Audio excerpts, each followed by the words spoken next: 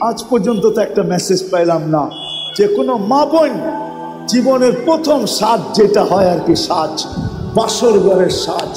আজ পর্যন্ত আমার এই লাল সবুজের পরিধির ভিতর থেকে আজকে তিন, চার বছর চিল্লাইতেছি, কোথাও থেকে একটা মেসেজ পাই নাই। যে কোনো মা বোন এই মেসেজ পাঠাইছে যে আমার বাসর ঘরের শ্বাসটা ফাতেমার মতো ছিল।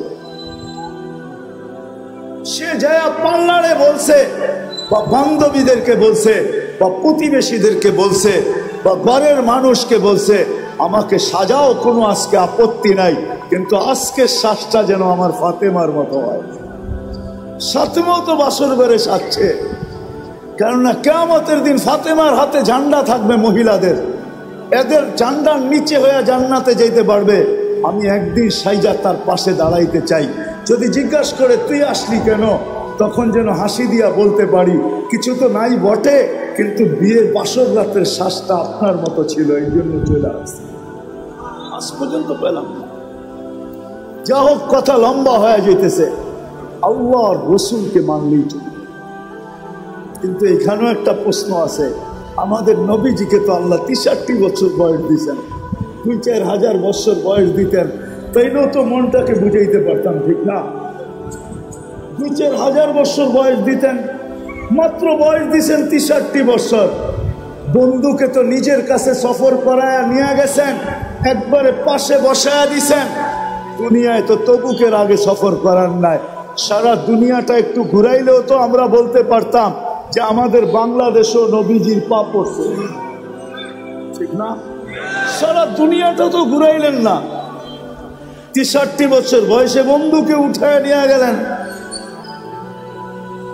এখন মানবো তো মানবো কাকে? কোরআন আমাদেরকে দিক দেখায়।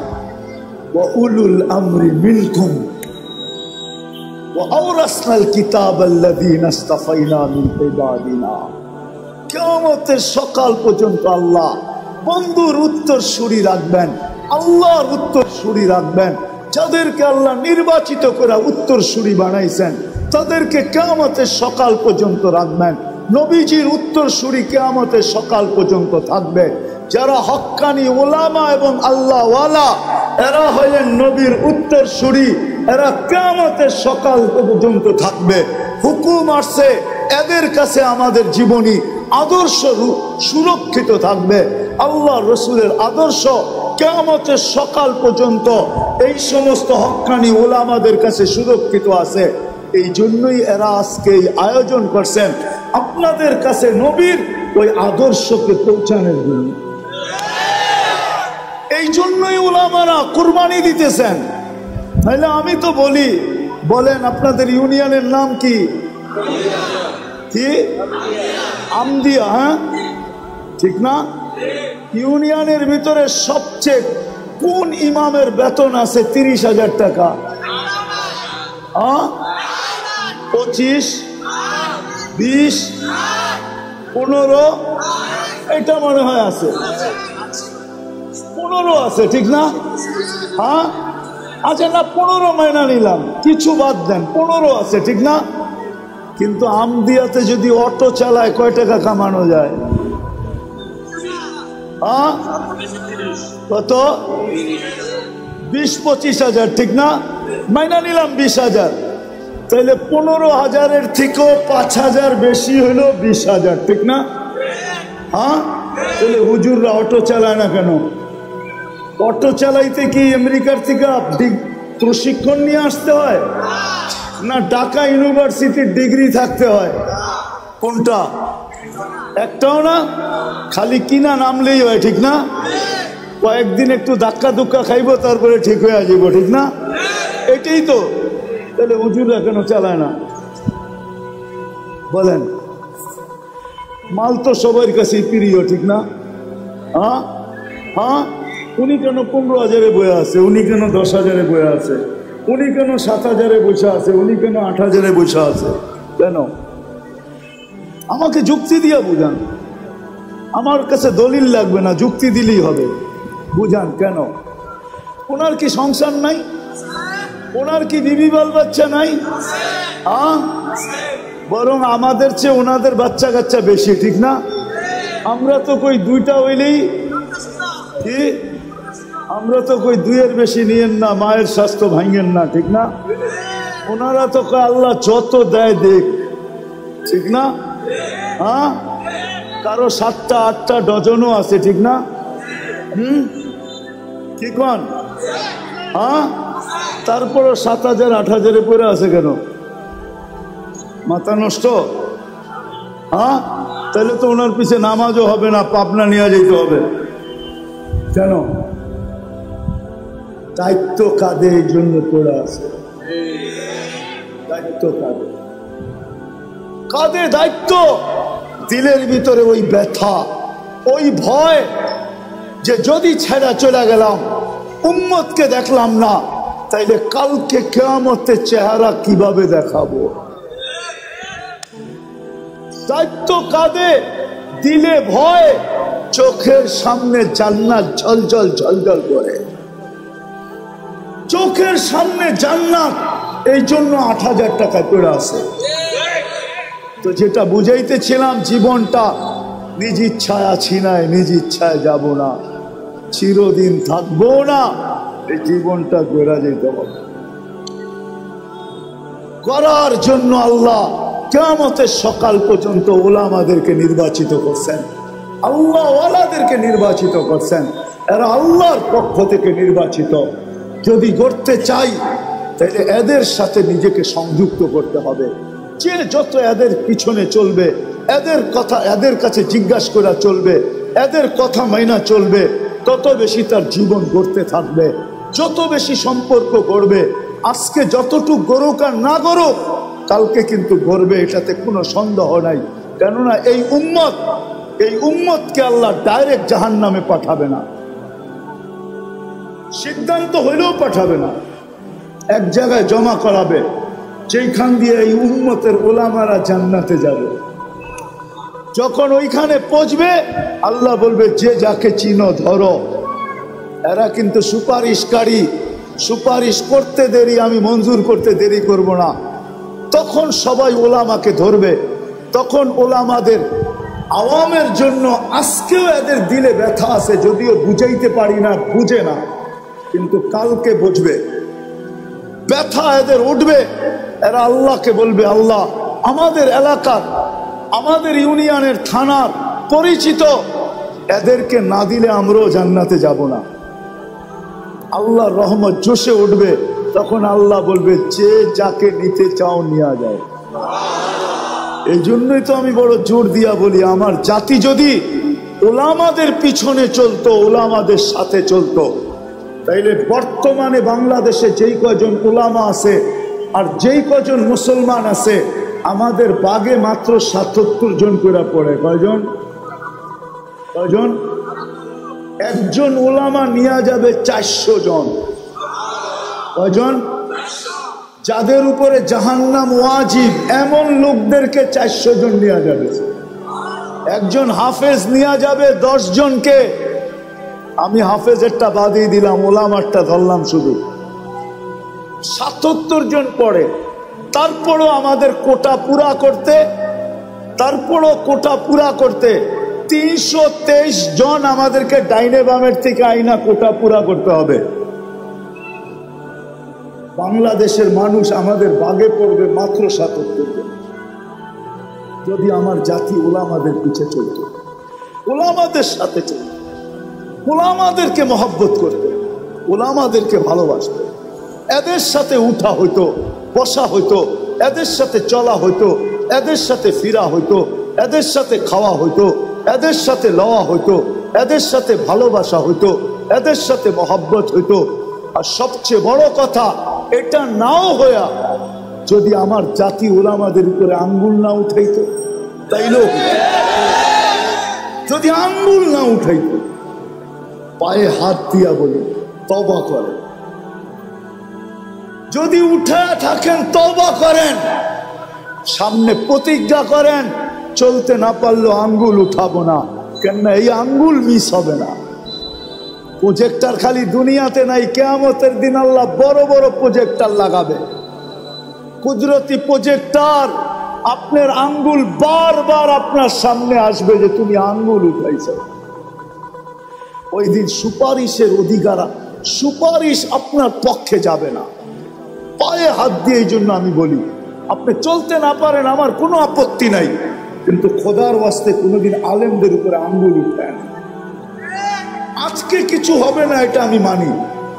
আজকে কিছু হবে না। আজকে আপনার কার্ডেই চলবে, আমার কার্ড চলবে না। আমি মানি, কিন্তু কাল কেয়ামতের মাঠে এই আঙ্গুল উঠবে। এই জন্য আমার জাতি যদি কমসে কম আঙ্গুল না উঠাইতো, আমি তো বলি, এই পোশাকেই তো আমি সারা দুনিয়া যাই। নিরানব্বইটা দেশ তো এই পোশাকেই দেখছি। এখনও তো যাওয়ার সুযোগ আছে। আল্লাহ সুযোগ দিয়া রাখছেন, কিন্তু আমার এই পোশাকের উপরে তো আমি দুনিয়ার কোথাও আঙ্গুল উঠাইতে দেখি নাই। আমার দেশে যতটুকু আঙ্গুল উঠায়। দুনিয়ার কোথাও আমি দেখি নাই যে আমার এই পোশাকের উপরে কেউ আঙ্গুল উঠেছে। যে তুই এটা কি পড়লি বরং আমি তো বলব, আমার এই টুপিটা সারা দুনিয়ায় যতগুলা প্রশংসা কুড়াইছে, আজ পর্যন্ত মনে হয় কোনো ব্যক্তির সাফারি কোট, দামি দামি ব্লেজার, আজ পর্যন্ত এর অর্ধেকও কুড়াইতে পারে না। অর্ধেক কি? চার ভাগের এক ভাগও না। আমি তো স্টেজে বসে বলতেছি, যত এয়ারপোর্টে টুপি দেখা বলছে ক্যাফ ইজ ভেরি নাইস তো টুপিটা তো বড় সুন্দর। মুসলমানের তো টুপি দেখি তোরটা তো অন্যরকম এই ব্রান্ড তুই পাইলি কই? আজ পর্যন্ত টুপি যতটুকু কুড়াইছে এই জন্য আপনাদের পায়ে হাত রেখা বলি, জীবন গোড়া যেতে হবে, কাঠায় গেলে চলবে। এই জন্য আসেন আসেন, দুটা, তিনটা কথা বলব। আসেন, প্রথমে যা গেছে গেছে, এটার জন্য তবা করি। রাজি? তাইলে হাত উঠায় বলি, আল্লাহ তবা করলাম? দ্বিতীয়, আজকের থেকে হকানি আলেম আল্লাহ ওয়ালাদের সাথে চলবো? তৃতীয়, আজকের থেকে কখনো নামাজ ছাড়ব না চতুর্থ, বর্তমান প্রেক্ষাপটে, ইসরায়েল ফিলিস্তিনের দিকে তাকায়া বর্তমান প্রেক্ষাপটে আমরা প্রতিবাদ করতেছি এতটুকু যথেষ্ট না। আমরা প্রতিবাদ করতে, প্রতিরোধ করতে পারতেছি না। প্রতিবাদ করতেছি এতটুকু যথেষ্ট না। প্রতিরোধ ওরা করতেছে যেখানে কাঁচায় আছে, ওরা প্রতিরোধ করতেছে। আমরা কি করতেছি? প্রতিবাদ করতেছি এতটুকু যথেষ্ট না। আরও দুটা কাজ আমাদের করতে হবে। তাইলে যদি সম্পূর্ণ হয়। ডোজ পরিপূর্ণ হইলে তারপরে ওষুধ কাজ করে। আরও দুটা কাজ আমাদের করতে হবে। যদিও এখানে একজনও নাই, আজকে দুই সপ্তাহের উপরে চলছে গাজার সাথে, ইহুদিদের সাথে যুদ্ধ। আমরা প্রতিবাদী করে যেতেছি ঠিক না? আজকে এই মজমায় কয়জন আছে যে আমি এই প্রথম দিন থেকে আজ পর্যন্ত ডেলি এদের জন্য দুই রাখাত নফল নামাজ পড়তেছি? আমি ওলামাদের পায়ে হাত রাইখা বলব, ওলামাও নাই। ওলামাও নাই যে ডেলি আমি দুই রাকাত নফল করতেছি। অথচ আল্লাহর হুকুম ছিল আমার কাছে সাহায্য চাও নামাজের মাধ্যমে। বিদায় আপনাদের পায়ে হাত রেখা বলব, প্রতিবাদ যত খুশি করেন, আমার কোনো আপত্তি নাই। আমি এটার বিরুদ্ধে না, পক্ষে।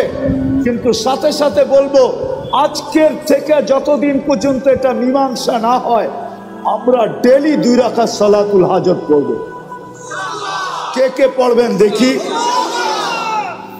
দ্বিতীয় আরেকটা, দ্বিতীয়। শেষ, এটা পঞ্চম নম্বর। শেষ হাদিসে আছে সৎকাতু তারুদ্দুল বালা। সমস্ত বিপদ সৎকা দ্বারা দূরবিত হয়। মুসলমানের উপরে এর চেয়ে বড় কোনো বিপদ হইতে পারে না, যেটা বর্তমানে গাজায় চলতেছে, এর চেয়ে বড় কোনো বিপদ মুসলমানদের উপরে বর্তমানে হইতে পারে। আপনি কি মানেন এর চেয়ে কোনো বড় বিপদ আছে? যেখানে বাইতুল মোকাদ্দাসকে গিলা খায়া ফেলতে চাইতেছে, প্রথম কেবলা, এর চেয়ে বড় বিপদ কি হইতে পারে? তাইলে এই বিপদকে দূর করার জন্য আজকের থেকে আমরা এক টাকা সৎকা করব, এক টাকা। করবেন? দেখি কে কে করেন।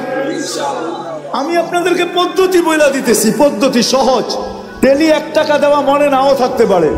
আপনি দশ দিনের নিয়ত করে দশ টাকা দিয়ে দেন।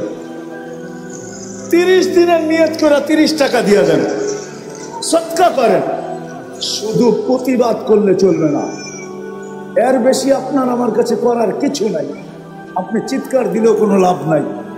রক্ত মাথা ফাটাইলেও কোনো লাভ নাই। কেননা বহু দূর আমরা প্রতিবাদ করতে পারি, কিন্তু আমরা দুটা প্রতিবাদের সাথে সাথে আরও দুটা জিনিস করি। একটা হলো সালাতুল সালাতুল হাজাত নামাজ পড়ি। আর আল্লাহকে কানে কানে বলি, আল্লাহ, আবাবিল ঘুরতে দেখি কবে কাজে লাগবে? আল্লাহকে বলি, আল্লাহ, আবাবিল উঠতে দেখি কবে কাজে লাগবে। মশা আমাদেরকে কাটতে দেখি কবে কাজে লাগবে। চিৎকারের ফেরেস তাকে ঘুমাইতে দেখি কবে কাজে লাগবে। বাতাসের ফেরেস তাকে ঘুমাইতে দেখি কবে কাজে লাগবে। জিবরিল, এখন তো আর ওহির বাহক না, তার ছয়শো ডানা কোন কাজে লাগবে? শেষদায় পড়ে আল্লাহকে বলি না। বলবেন? আল্লাহ আমাদেরকে আমল করার তৌফিক দান করেন। সব সমগ্র মানব জাতির মাথায় মুকুট একটা, কয়টা? কয়টা? কয়টা? অলাকত কার্রামনা বানি আদম, শ্রেষ্ঠত্বের একটা মুকুট, আমাদের মাথায় মুকুট কয়েকটা কয়েকটা। একটা না শুধু উম্মতে মোহাম্মদী হতে পারার কারণে প্রথম মুকুট অলাকত কার্রামনা বানি আদম। মানুষ হিসাবে একটা মুকুট। দ্বিতীয় আমাদের মাথায় আরেকটা মুকুট। কুমতুম খায়রা উম্মা। তোমাদের চেয়ে উত্তম উন্মত নাই। এটা হলো দ্বিতীয় মুকুট। তৃতীয় আরেকটা মুকুট। হুয়াজ তাবাকুম। আমি তোমাদেরকে কুদরতি হাত দিয়া নির্বাচিত করছি। এটা আরেকটা মুকুট।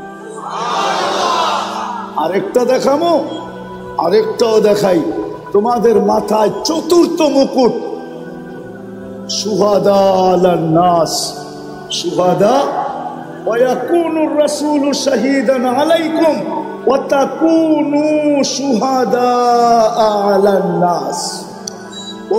মোহাম্মদী, কেয়ামতের দিন আমি তোমাদেরকে আমার পক্ষে সাক্ষী হিসাবে আমার পাশে দাঁড় করাবো।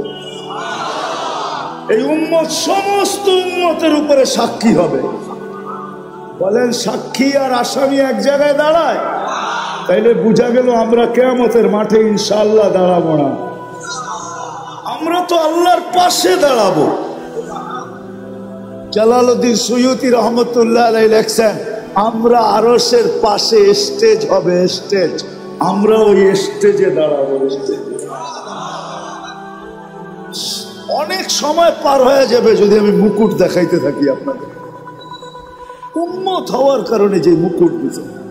দেখি আজকে দিলের ভিতরে দিল আছে কিনা। বুকের ভিতরে দিল আছে কিনা, লাগে কিনা, দুই একটা শোনায় দেখি। ওই রসুলকে মানার জন্য হয় হয় যিনি সারা জীবন চোখের পানি কোনোদিন ঝরা থামান না। যার চোখের পানি উন্মতের জন্য থামে নাই। জিবরিল জিজ্ঞাসা করছে, মিকাইল জিজ্ঞাসা করছে, আপনি সব সময় কাঁদেন কেন? মা জালা আরা তাবকি। আপনি সব সময় কেন কাঁদেন? বসে জিবরিল, মিকাইল যেদিন থেকে জান্নাত দেখা আসছি, দুজক দেখা আসছি উন্মতের জন্য আমার চোখের পানি থামে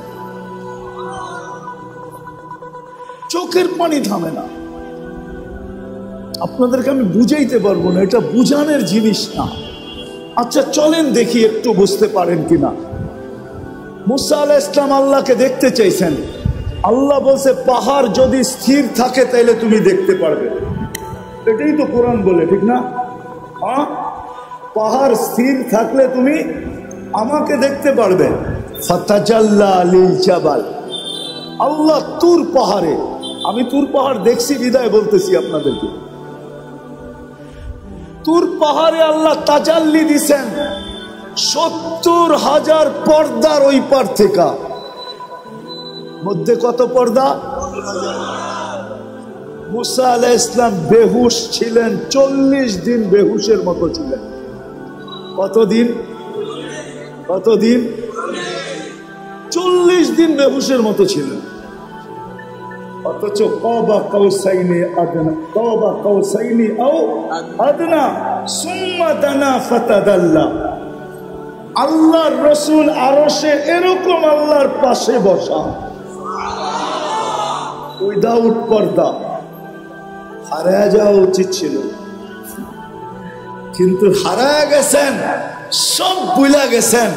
পরিবার বলছেন, ফাতেমা বলছেন, হাসান বলছেন হোসাইন বলছেন, বনু হাসেম বলছেন, কুরাইশি বলছেন, আরব বলছেন, সব ভুলে গেছেন, কিন্তু উম্মত ভুলেন নাই, ওই টেবিলেও উম্মতকে স্মরণ করছেন ওই টেবিলে। সেইখানে এতটুকু কাছে আলোর জগৎ, তাজাল্লিয়াতের জগৎ, আল্লাহর তাজাল্লি, সহ্য করতেছে সিনা, আর পাশে বৈশা উন্মতকে স্মরণ করতেছেন। নাইলে আপনি আত্মাহিয়া তো পড়েন তো, পড়েন পত্রিকা। ও আলা ইবাদিল্লাহ এটা তো নবীজি উম্মতকে স্মরণ করে বলছে। আমার উপরে শুধু সালাম দিলেন। আমাকে শুধু সালাম দিলেন, আল্লাহকে বলছে শুধু আমাকে? আমার উম্মত কই যাবে? তো আল্লাহ জিজ্ঞাসা করছে, বন্ধু, এইখানে উম্মত? আমার তাকাইল যে এইখানে উম্মত না উঠলে তো উঠবে কোন জায়গায়? এই টেবিলে যদি উম্মত না উঠল, তাহলে কোথায় উঠবে? এরকম কাছে হব তো আর হব কখন? এত নৈকট্য পাবো তো পাবো কখন? দুইজন এরকম কাছাকাছি হব তো আর হব কখন? এই টেবিলে যদি উম্মত না ওঠে তাহলে আর কোন টেবিলে উঠবে? এই টেবিলে যদি উম্মত হারা যায়, তাহলে আর উম্মতকে কোথায় উঠাবো আজকে ওই উম্মত নবী ছিল চোখের পানি জন্দ হয় নাই। চলেন, এটা তো এক বেলা। দ্বিতীয়টা শুনাইতেছি। যখন দুনিয়ার থেকে বিদায় নিতেছেন, তখন নয় ঘর ক্ষুধার্থ নয় ফ্যামিলি। নিচে কয়েক দিনের ক্ষুধার্থ হাসান হোসাইন ক্ষুধার্থ আলী ফাতেমা ক্ষুধার্থ ঘরে এতটুকু তেল পর্যন্ত নাই যে বাতি জ্বালায়া রাত্রে অন্ধকার দূর করবে। এতটুকু তেলও নাই। আম্মা যান বলতেছে যদি থাকতো, তাহলে খিদা নিবারণের জন্য তেলটা আগে পান করে নিতাম। এতটুকু খিদার ধারণা ছিল। ওই সময় চোখে পানি, জিবরিল জিজ্ঞাসা করছে, কেন কাঁদেন? আর তব কি? ও আন্তা ইলা রফিকিল আলা। আপনি এখনও কাঁদেন? এখনই তো আল্লাহর সান্নিধ্যে চলে যাবেন। এখন কান্না কেন? তো বলছে, জিবরিল, ফামান লিবা দিলি উম্মতি। কান্না, এই জন্য যে আমার পরে আমার উম্মতকে কে দেখা রাখবে ওই উম্মত আজকে নবী ছিল একজন যুবক তো এখানে হবে না, তোমাদের পায়ে হাত রাখি। আজ পর্যন্ত কত জিবি তোমরা খরচ করছ? প্রতি মাসে তো আনলিমিটেড খরচ করো, কেননা প্রত্যেকের ঘরে ওয়াইফাই আছে। আজ পর্যন্ত কোনো দিন নবীর শান যে আমাদের নবী কে? ওনার পরিচয় কোনোদিন গুগলে সার্চ দিয়ে দেখছ? যে একটু দেখি। একটু দেখি। ওনার পক্ষে না হইলে তো কেমতের দিন পার হওয়া যাবে না। আল্লাহ পক্ষে হবে না।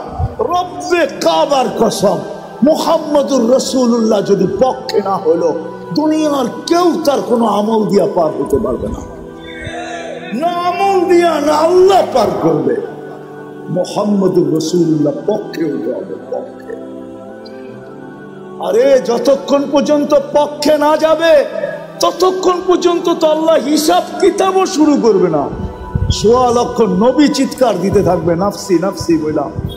বারো, তিনশো বারো জন রসুল, তিনজন কিতাবদারি রসুল চারজন উলুল আসমি মিনার রসুল সব চিৎকার দিবে। আল্লাহ হিসাব কিতাব শুরু করেন। আল্লাহ টাকায়ও দেখবেন না। যতক্ষণ পর্যন্ত বন্ধু শেষদায় না পড়ব।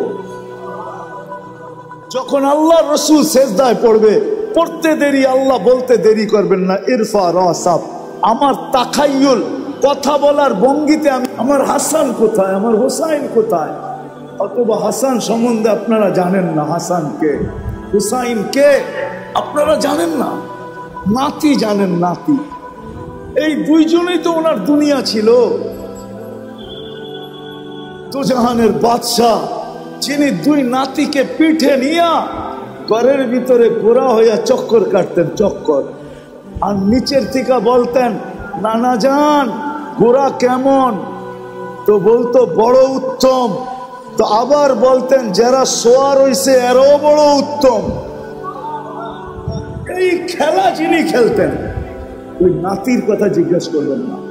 জিজ্ঞাসা করবে আমার উন্নত কোথায় রাগ হয়ে যায় না, পায়ে হাত রাখি।